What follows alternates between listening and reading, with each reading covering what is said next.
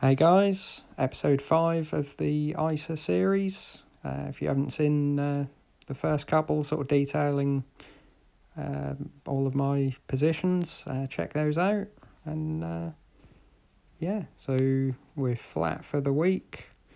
Um, sort of rose earlier in the week on the higher gold price, and then that's come down towards the end of the week. And a uh, bit of a rough time for um, individual stocks. So yeah, took a bit of a, a hit on those towards the end of the week. Uh, sort of gold stocks still going up, and I'm selling them down and buying other stocks that are still going down. So I always feel a bit bit silly doing it, but it's all part of the averaging down process. Uh, I still think that is the best way. Um, yeah, so uh, Barrick Gold fairly fairly flat for the week, I believe. Uh, British Tobacco um, sort of took a, a real hit at the end of the week, um, but still making profit.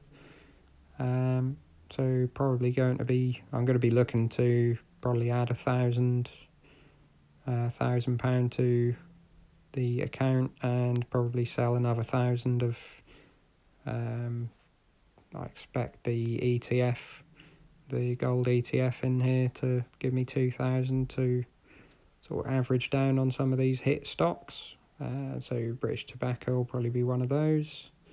Uh, BT would be the second one, uh, taking another hit, uh, around about a pound now. Um, still, again, still making money. Um, they do have a a potential uh, rival, I understand, in CityFibre um, sort of doing a lot of work around around the country and uh, putting their own fibre network in uh, to the property rather than to exchanges. Uh, so that's a potential rival, but I think with the sort of phone and BT Sport um, market, they sort of offer more of a package, uh, so I think they should be okay. And they still sort of rent out their network to sort of Sky and Talk Talk and people like that. So probably add another 250 to that. Um, Evraz, not really done too much, gone down a little uh, this week, just below what I'd paid. Uh, but keep that. Um, probably I'm not looking to sort of hold that longer term. I would want to get into Rio Tinto and uh, BHP um, First Majestic Silver come down sort of a little bit towards the end of the week. Um, yeah, sort of tends to move generally with the market because of the industrial demand.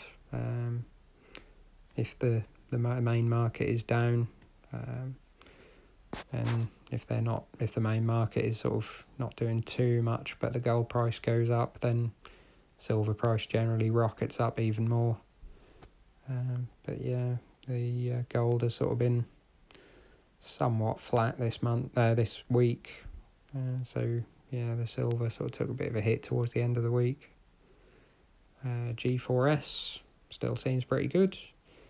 Um, didn't come down too much in the sort of end of the week sell-offs, so I'm not going to add to it. Uh, 27% up on that, so I'll just leave that where it is. IAG took a real hit. Uh, British Airways, I think, sort of more uh, American uh, virus news and European virus news, sort of some lockdowns, and just think they're sort of burning through cash. Uh, I think they're looking to issue new shares, so it'd be dilution, and that's sort of partly why the price has come down. Um, yeah, so come down quite a way. I'm on the fence about whether to put any more into this uh, with my money next week. But probably have a think and do a bit more research. Uh, Imperial Brands, same as uh, British Tobacco, really. Still making a profit, and uh, they've come down this week, so probably put a little bit more money into that. I think it's just um, investors going away from tobacco stocks uh, but yeah, can't see him coming down that long if they're still making a profit. Uh, so iShares S&P gold producers um, down slightly this uh, this week, but uh, expect that to sort of come back this coming week. Um, gold price just sort of fluctuating around all time highs now, um, but I think that will start to sort of push on. Just people taking profit really. Uh, Kier Group, um, really not sure about this one. Uh, do believe in them sort of as a, a longer term company with their order book, um, but I think I've got a lot of debt. Um, small sort of potential they could go bust, um, but may sort of add to this in the next month, in the next week maybe. Uh, New River REIT, uh, fairly fairly flat. Um, probably still lockdowns affecting them, uh, but just keep that. Polymetal still doing quite well. Um, just sort of following gold price, probably be similar, really to the ETF in uh, performance. Uh, Rolls Royce, another battered down one this week. Um, again, sort of uh, small potential. They could be uh, in trouble, may need a bailout, or uh, you know could potentially go bust. But uh, depends on sort of whether the airlines can pick up. Uh, seeing sort of people saying they may even lag behind the airline companies, uh, sort of holiday companies and EasyJet and people like that because uh, they won't actually be ordering any new planes even when they start up. Uh, so Rolls Royce would really need the defence side of things to sort of yeah hold them up really. Uh, so it's in a big drop this week. Um, I'll have a have a read around. I may put uh, another two fifty into them.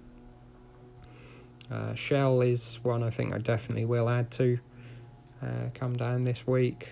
Um, can't really see. I mean, they've put out their earnings. Uh, they've done a lot of write downs, so technically lost.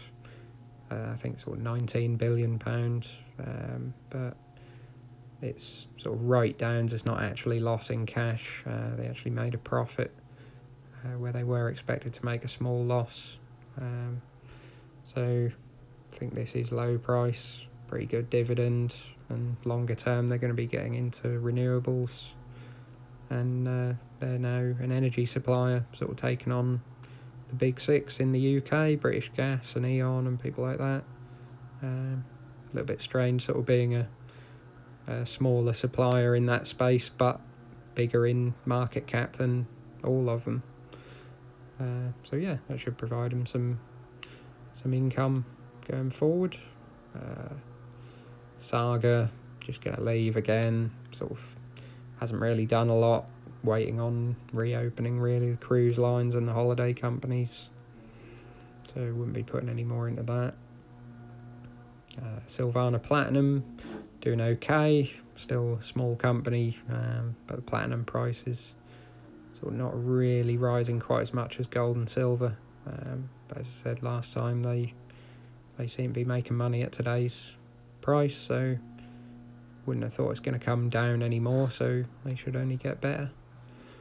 Uh, and Taylor Wimpey, uh, new position, um, yeah, sort of fairly good balance sheet, um, but this week sort of took a really, really big knock. Uh, so I decided to get into them. I'm also looking at Barratt Homes. Uh, I think Barratt Homes are slightly better uh, balance sheet, but it's sort of the price is reflecting that, and I thought this seems a bit oversold. Uh, they've been issuing new shares and buying land with it, uh, so the share price has been coming down, probably partly because of dilution, uh, but they've now got the land assets to sort of build houses in the future. Uh, so see them as pretty good. May put a little bit more into them in the coming week. Uh, yeah, so that is the position. Uh, still 24,000 on this one. Uh, and then over to Hargreaves Lansdown. Um, yeah, fairly flat for the week. Um, I've been told uh, this is probably going to be another month to move to iWeb, uh, so still can't sell or buy anything in this. Uh, a little bit frustrating, but uh, as long as it's still going up, uh, I wouldn't be sort of looking to sell too much out of this. Uh, that will that portfolio will be more for longer term purchases because uh, there is a, a trading commission fee, uh, five pounds every time you make a transaction. So yeah, it would be more for longer term buys. Uh, yeah, and that is uh, that is the portfolio. So ninety two thousand, uh, all in all, flat for the week, uh, but can see some sort of potential over the next few weeks. Um, general stocks may sort of continue to slide a bit, um, and I'll be hopefully averaging down and selling out of the uh, the gold positions, and yeah, hopefully sort of once it's getting towards a bottom, uh, I won't be in too much negative, and then hopefully can ride a long bull market. Uh, yeah, so that's the video for this week. Um, like and subscribe if you're uh, if you want to stay updated, and uh, leave your thoughts in the comments below. Cheers. Bye.